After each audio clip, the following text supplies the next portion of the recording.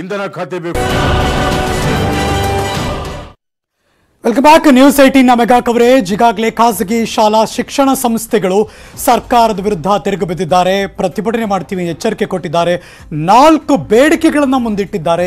February ಇಪ್ಪತ್ತ್ಮೂರು ಅವ್ರು ಕೊಟ್ಟರು ಡೆಡ್ಲೈನ್ ಸೊ ಇಪ್ಪತ್ತೆರಡರ ಒಳಗೆ ಅದನ್ನು ಈಡೇರಿಸಬೇಕು ಅಂತಿದ್ದಾರೆ. ಈ ಚರ್ಚೆಯನ್ನು ಬೆಳಗ್ಗೆ ಹತ್ತು ಗಂಟೆಯಿಂದ ನಿಮ್ಮ ನ್ಯೂಸ್ ಏಟೀನ್ ಕನ್ನಡದ ಎಲ್ಲ ಪ್ಲಾಟ್ಫಾರ್ಮ್ನ ಎಲ್ಲ ವ್ಯಕ್ತಿಗಳಿಂದ ಅಭಿಪ್ರಾಯ ಸಂಗ್ರಹ ಮಾಡ್ತಿದ್ವಿ. ಪ್ರೋಸ್ ಅಂಡ್ ಕಾನ್ಸ್ ಹೇಗೆ ನಡೀತಿದೆ ಅಂತ ಮಾತಾಡ್ತಿದ್ವಿ. ನಮ್ಮ ಜೊತೆ ನೇರ ಸಂಪರ್ಕದಲ್ಲಿ ಪೋಷಕರನ್ನ ರೆಪ್ರೆಸೆಂಟ್ ಮಾಡ್ತಿರುವಂಥ ಸುಧಾ ಗೌಡ್ರು ಖಾಸಗಿ ಶಾಲೆಗಳನ್ನ ರೆಪ್ರೆಸೆಂಟ್ ಮಾಡ್ತಿರುವಂತಹ ಮಾಜಿ ಸಂಸದರಾಗಿರುವ ಸನ್ಮಾನ್ಯ ಶಿವರಾಮೇಗೌಡರು ಕಿರಣ್ ಪ್ರಸಾದ್ ಕ್ಯಾಂಪ್ಸ್ನ ಕಾರ್ಯದರ್ಶಿಗಳು ಡಾಕ್ಟರ್ ಸುಪ್ರೀತ್ ಶಿಕ್ಷಣ ತಜ್ಞರಿದ್ದಾರೆ. ಶಿವರಾಮೇಗೌಡ್ರೆ ಅಫ್ಕೋರ್ಸ್ ಮಾಸ್ನ ಅಧ್ಯಕ್ಷರು ಕೂಡ ಆಗಿದ್ದೀರಿ ನೀವು. ಪುಟ್ಟಣ್ಣವ್ರ ಜೊತೆ ನೀವೆಲ್ಲರೂ ಕೂಡ ಚರ್ಚೆ ಮಾಡಿದ್ರಿ. ಪುಟ್ಟಣ್ಣವ್ರು ಆಗ್ಲಿ ದೂರವಾಣಿ ಸಂಪರ್ಕಕ್ಕೆ ಬಂದಾಗ ಒಂದು ಮಾತು ಹೇಳಿದ್ರು ಸರ್. ಮುಖ್ಯಮಂತ್ರಿಗಳ ಮುಂದೆ ಪ್ರಸ್ತಾಪ ಇಟ್ಟಿದ್ದೀವಿ. ಮುಖ್ಯಮಂತ್ರಿಗಳು ಇದನ್ನ ಸಹಾಯ ಮಾಡೋದಕ್ಕೆ ಸಚಿವರಿಗೆ ಹೇಳ್ತಾರೆ. ಆದರೆ ಸಚಿವರು ಉದಾಸೀನ ತೋರಿಸ್ತಿದ್ದಾರೆ ಅಂತ. ಇಲ್ಲಿ ಯಾರು ಏನು ಮಾಡ್ತಿದ್ದಾರೆ? ಇನ್ಯಾರೋ ಒದ್ದಾಡ್ತಿದ್ದಾರೆ. ಸೊಲ್ಯೂಷನ್ ಎಲ್ಲಿಂದ ಹೊರಗೆ ಬರ್ಬೇಕು ಸರ್ ಹಾಗಿದ್ರೆ? ಈಗ ನಾನು ನಾನೀಗಾಗಲೇ ಮೊದಲೇ ಪ್ರಸ್ತಾಪ ಮಾಡಿದೆ. ಸೊಲ್ಯೂಷನ್ ಏನು ಕ್ರಿಯೇಟ್ ಮಾಡಿದೆ ಗೌರ್ಮೆಂಟ್ ಶಿಕ್ಷಣ ಇಲಾಖೆ ಅವರಿಂದಲೇ ಬರಬೇಕಿದು. ನಾವ್ ನಾವೊಂದು ಮಾತು ಸ್ನೇಹಿತರು ಆಗಿದ್ದಾರೆ. ನೀವು ಒಂಚೂರು ರಿಕ್ವೆಸ್ಟ್ ಮಾಡ್ಕೊಂಡ ಇಲ್ವಾ ಸರ್ ಸುರೇಶ್ ಕರೋನಾದಲ್ಲಿ ಎಲ್ರಿಗೂ ತೊಂದರೆ ಇದೆ. ಹಂಡ್ರೆಡ್ ಪರ್ಸೆಂಟ್ ಹೇಳಿದ್ದೀವಿ ನೀವು ನಂಬ್ತಿರಿಲ್ವೋ? ನಾನೇ ನಮ್ಮ ಸ್ಕೂಲ್ದಲ್ಲಿ ಇಪ್ಪತ್ತೆರಡು ಪರ್ಸೆಂಟ್ ಬಿಟ್ಟಿದ್ದೀನಿ ಆಗಲೇ. ಓ ಹಾ ಹಾ. ಇಪ್ಪತ್ತೆರಡು ಪರ್ಸೆಂಟ್ ಬಿಟ್ಟಿದ್ದೀವಿ. ನೀವು ನಾವು ಯಾರು ಸ್ಕೂಲ್ನವರು ಅವ್ರು ಯಾರೋ ಹೇಳ್ತಾರಲ್ಲ ದಬ್ಬಾಳಿಕೆ ಅಂತ ಮೇಡಮ್ ಅವ್ರು ಯಾವ ಭಾಷೆಯಲ್ಲಿ ಹೇಳ್ತಾ ಇದ್ದಾರೆ ನನಗೆ ಅರ್ಥ ಆಗೋದಿಲ್ಲ. ನಾವು ಯಾರೂ ಸಹಿತ ದಬ್ಬಾಳಿಕೆ ದಬ್ಬಾಳಿಕೆ ಮಾಡೋರ ಮೇಲೆ ಕ್ರಮ ತಗೊಳ್ಳಿ. ಓಕೆ. ಖಾಸಗಿ ಶಿಕ್ಷಣ ಸಂಸ್ಥೆಯವ್ರನ್ನ ಎಲ್ಲರನ್ನೂ ಒಗ್ಗಟ್ಟಾಗಿ ಹೇಳೋದು ಬೇಡ. ಓಕೆ ನಾವು ಗೌರವಯುತವಾಗಿ ಪೇರೆಂಟ್ಗಳ ಜೊತೆನಲ್ಲಿ ಈಗ ನನ್ನ ಶಾಲೆನಲ್ಲಿ ಹತ್ತು ಸಾವಿರ ಜನ ಪೇರೆಂಟ್ ಇದ್ದಾರೆ. ಯಾರೋ ಶಾಲೆಯವರು ಈ ತರ ಮಾಡಿದಾಗ ಇನ್ಯಾರಿಗೂ ಕೆಟ್ಟ ಹೆಸರು ಬರೋದು ಬೇಡ. ಆ ತರದವ್ರು ಇದ್ರೆ ನೀವಾದ್ರೂ ಒಂಚೂರು ಎಚ್ಚರಿಕೆ ಕೊಡ್ಬೋದೇನಪ್ಪ? ಬೀಂಗ್ ಎ ಸೀನಿಯರ್ ಅವ್ರ ಮೇಲೆ ಕ್ರಮ ತಗೊಳ್ಳಿ. ಹಾ. ಸರ್ ನಾವ್ ಹೇಳಿದೀವಿ. ಈಗ ಅರವಿಂದ್ ಇನ್ನೊಂದು ತಿಳ್ಕೊಳ್ಳಿ ಹರೀಶ್. ನಾವು ಆರ್ ಟಿ ಇ ಬಂತು ಸರ್ಕಾರದಲ್ಲಿ. Harish Harish R T E ಬಂತು. ಆರ್ ಟಿ ಇ ಬಂದಾಗ ನಾನೊಂದು ಶಾಲೆ ಹೆಸರು ಹೇಳೋದಿಲ್ಲ. ಆ ಶಾಲೆಗೆ ಹೋದೆ. ನಾನು ಒಂದು ಇಪ್ಪತ್ತು ಜನ ಸ್ಕೂಲ್ ಚೇರ್ಮನ್ರುಗಳು ನಮ್ಮೆಲ್ಲ ಒಂದು ಪದಾಧಿಕಾರಿಗಳು ಹೋದ್ವಿ. ನಮ್ ಕಷ್ಟ ಸುಖ ಮಾತಾಡ್ಕೊಂಡು ನಾವೆಲ್ಲ ಜಾಯಿನ್ ಆಗ್ಬೇಕು ಅಂತ. ನಮಗೆ ಎಂಟ್ರಿನೇ ಕೊಡ್ಲಿಲ್ಲ. ಗೋವಿಂದೇಗೌಡರು ಎಜುಕೇಶನ್ ಮಿನಿಸ್ಟರ್ ಇದ್ರು. ಒಂದು ಶಾಲೆಗೆ ಹೋಗ್ತಾರೆ. ಎಸ್ ಎಂ ಮಿನಿಸ್ಟರ್ ಒಳಗೆ ಬಿಡ್ಲಿಲ್ಲ. ಅಂತ ಶಾಲೆಗಳು ಇದಾವೆ ಅವ್ರ ಮೇಲೆ ಕ್ರಮ ತಗೊಳ್ಳಿ. ಅಂತವ್ರು ಮಾಡಿದಕ್ಕೆ ಎಲ್ಲರನ್ನೂ ಓವರ್ ಓವರ್ ಆಗಿ ಹೇಳೋದು ಬೇಡ. Correct agreed agreed sir sir ಸಾರ್ವಜನಿಕರಾಗಿ ತುಂಬಾ ಜನ ಫೋನ್ ಮಾಡ್ತಿದ್ದಾರೆ. ಮೇ ಬಿ ಹಲವಾರು ಪ್ರಶ್ನೆಗಳು ಅವ್ರಿಗೂ ಇದ್ದೇ ಇರುತ್ತೆ. ಶರತ್ ಅಂತ ಬೆಂಗಳೂರಿಂದ ಒಬ್ರು ದೂರವಾಣಿ ಸಂಪರ್ಕದಲ್ಲಿದ್ದಾರೆ. ಮಾತಾಡ್ಸೋಣ. ಶರತ್ ನಮಸ್ಕಾರ. ಸರ್ ನಮಸ್ತೆ ಹರೀಶ್ ಅವರೇ. ಹೇಳಿ ಶರತ್ ಅವರೇ ಪ್ರಾಬ್ಲಮ್ ಏನಾಗ್ತಿದೆ? ನೀವು ಅನುಭವಿಸ್ತಿದ್ದೀರಾ? ಅಥವಾ ಸರ್ಕಾರಕ್ಕೆ ಏನಾದ್ರು ಹೇಳಬೇಕು ಅಂತ ನಿಮ್ಗೆ ಅನ್ಸಿದ್ಯಾ? ಸರ್ ಖಂಡಿತವಾಗ್ಲಿ ಆಕ್ಚುಲಿ ಕಾರಣ ಸರ್ಕಾರಕ್ಕೆ ಅಂತ ಹೇಳೋದಕ್ಕಿಂತ ಪೋಷಕರಿಗೆ ಹೇಳೋದಕ್ಕೆ sir. To be very honest ಒಬ್ರು ಪೋಷಕರು ಸುಧಾಗೌಡ ಅಂತ ಇದಾರೆ ಜೊತೆಲಿ. ಸೊ ಅವ್ರಿಗೆ ಒಂದು ಕ್ವಶನ್ ಆಗಿ ಕೇಳ್ತೀನಿ. ಹಾಗೆ ಶಿವರಾಮೇಗೌಡರಿಗಂತೂ ಒಂದೇ ಒಂದು ಕ್ವಶನ್ ಕೇಳ್ತೀನಿ ಅಷ್ಟೇ. ಸುಧಾ ಸುಧಾಗೌಡ ಅವರು ಯಾವ ಸ್ಕೂಲ್ಗಳಲ್ಲಿ ಓದಿದ್ದಾರೆ ಅಥವಾ ಏನ್ ಮಾಡಿದ್ದಾರೆ ಅನ್ನೋ ನನಗೆ ಗೊತ್ತಿಲ್ಲ. ಬಟ್ ಇವ್ರಿಗೆ ಈ ಖಾಸಗಿ ಶಾಲೆಗಳ ಅಥವಾ ಪ್ರೈವೇಟ್ ಸ್ಕೂಲೇ ಬೇಕು ಅನ್ನೋ ಒಂದು ಹಠ ಯಾಕೆ? ಯಾಕೆ ನಮ್ಮ ಗೌರ್ಮೆಂಟ್ ಸ್ಕೂಲ್ನ ಇಂಪ್ರೂವ್ ಮಾಡಿ ಅಂತ ಸ್ಟ್ರೈಕ್ ಮಾಡಬಾರ್ದು ನೀವು. ಯಾಕಂದ್ರೆ ನಾನು ಸರ್ ನಾನು ಅರ್ಸಿಕೆರೆ ಹತ್ರ ಬಾಣಾವರ ಅಂತ ಹೇಳಿ ಒಂದು ಹೋಬಳಿ ಅಲ್ಲಿ ಗವರ್ಮೆಂಟ್ ಸ್ಕೂಲ್ ಅಲ್ಲಿ ನಾನು ಓದಿದ್ದು. ನಾನು ಕಂಪ್ಲೀಟ್ ಗ್ರಾಜುಯೇಷನ್ ನಾನು ಸ್ಕೂಲ್ ಅಲ್ಲಿ ಮಾಡಿದ್ದೀನಿ. ಅದಾದ್ಮೇಲೆ ನಾನು ಇವತ್ತು ಐ ಬಿ ಎಂ ಅಲ್ಲಿ ಸೀನಿಯರ್ ಮ್ಯಾನೇಜರ್ ಆಗಿ ವರ್ಕ್ ಮಾಡ್ತಾ ಇದ್ದೀನಿ ನಾನು. ಸೊ ಆಮೇಲೆ am such designated post after studying in government college not in a private school or something else so ಇದನ್ನ ನಮ್ಮ ಮಕ್ಕಳಲ್ಲಿ ಬಿಲ್ಡ್ ಮಾಡ್ಬೇಕಾಗಿರೋದು ಪೇರೆಂಟ್ಸ್ ಅದು ಬಿಟ್ಟು ನೀವು ಫೀಸ್ ಕಮ್ಮಿ ಮಾಡಿ ಅಂತ ಗೌರ್ಮೆಂಟ್ ಹತ್ರ ಭಿಕ್ಷೆ ಬೇಡೋ ಅವಶ್ಯಕತೆನೂ ಇಲ್ಲ. ಒಂದು ಇಲ್ಲ ನೀವು ಗೌರ್ಮೆಂಟ್ ಹತ್ರ ನೀವು ಫೈಟ್ ಮಾಡ್ಲೇಬೇಕಂದ್ರೆ ಫೆಸಿಲಿಟೀಸ್ ಇಂಪ್ರೂವ್ ಮಾಡಿ. ಆ ಪ್ರೈವೇಟ್ ಸ್ಕೂಲಿಗೆ ಕೂಡ ನೀವು ಒಂದ್ ಲಕ್ಷ ಎರಡ್ ಲಕ್ಷ ಡೊನೇಷನ್ ಅಲ್ಲಿ ಅಟ್ ಲೀಸ್ಟ್ ಒಂದ್ ಇಪ್ಪತ್ ಸಾವಿರ ನೀವು ಗೌರ್ಮೆಂಟ್ ಸ್ಕೂಲಿಗೆ ಕೊಟ್ಟು ಇಂಪ್ರೂವ್ಮೆಂಟ್ ಮಾಡೋದಕ್ಕೆ ಹೆಲ್ಪ್ ಮಾಡಿ.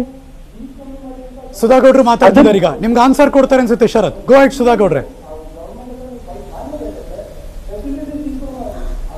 ಥ್ಯಾಂಕ್ ಯು ಸರ್ ಶರತ್ ಅವರೇ, ನೀವು ಹೇಳಿದ್ರಿ ಇವಾಗ ಸುಧಾಗೌಡ ಅವರು ಯಾವ ಶಾಲೆಲೂ ಹೋದ್ರು ಗೊತ್ತಿಲ್ಲ. ಯಾಕೆ ಗೌರ್ಮೆಂಟ್ ಸ್ಕೂಲ್ಗೆ ರೆಫರ್ ಮಾಡಬಾರ್ದು? ಖಾಸಗಿ ಶಾಲೆನೇ ಮಾಡಬೇಕು ಅಂತ ಹೇಳ್ತಿದ್ದಾರೆ. ಫೀಸ್ ಕಡಿಮೆ ಮಾಡ್ತಾರೆ ಭಿಕ್ಷೆ ಬೇಡ್ತಿದ್ದಾರೆ ಅಂತ.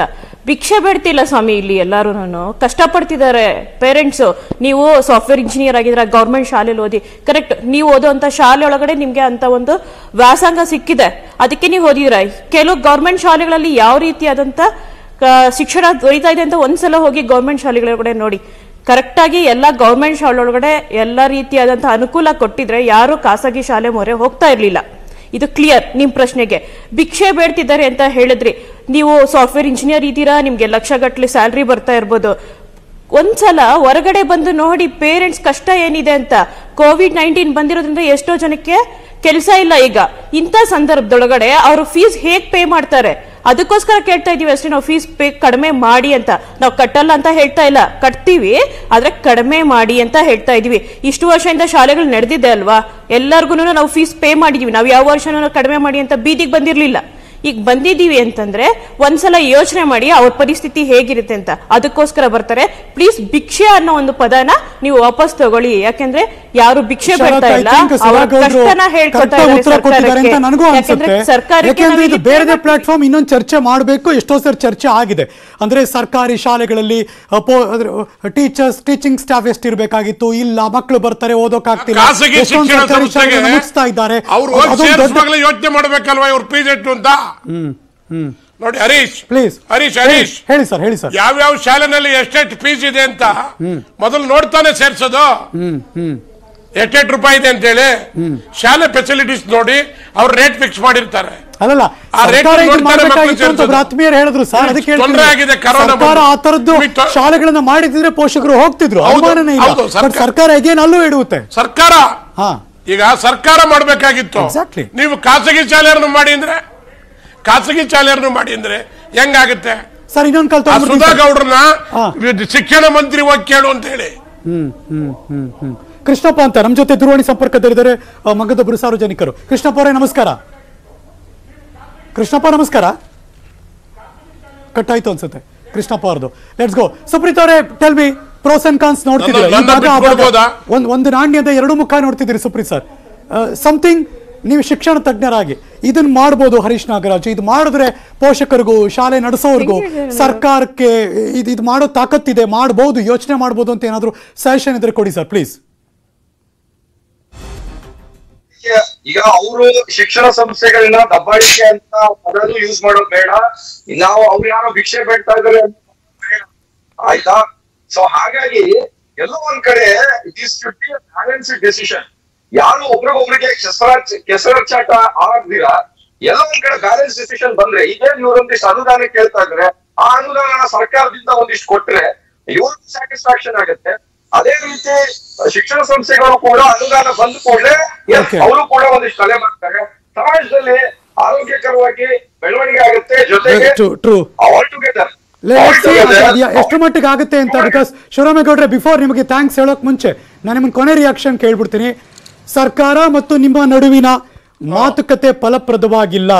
ಈಗ ನೀವು ಹೋರಾಟ ಮಾಡ್ತೀವಿ ಪ್ರತಿಭಟನೆ ಮಾಡ್ತೀವಿ ಅಂತಿದ್ದೀರಿ. ಫೆಬ್ರವರಿ ಇಪ್ಪತ್ತೆರಡು ಡೆಡ್ಲೈನ್ ಕೊಟ್ಟಿದ್ದೀರಿ. ನಿಮ್ಮ ನಾಲ್ಕು ಬೇಡಿಕೆ ಈಡೇರದಿದ್ದರೆ ಫೆಬ್ರವರಿ ಇಪ್ಪತ್ತ್ ಮೂರರಿಂದ ಏನು ಮಾಡೋ ಆಲೋಚನೆ ಇದೆ. ನಾನು ನಿಮಗೆ ಸ್ಪಷ್ಟ ಮಾಡ್ತಾ ಇದ್ದೀನಿ. ಪ್ಲೀಸ್ ನಿಮ್ಮ ಮೂಲಕ ಈ ರಾಜ್ಯದ ಜನತೆಗೂ ಸಹಿತ ನೋಡ್ತಾ ಇರ್ತಕ್ಕಂಥ ಎಲ್ಲರಿಗೂ ವಿನಂತಿ ಮಾಡ್ತೀನಿ.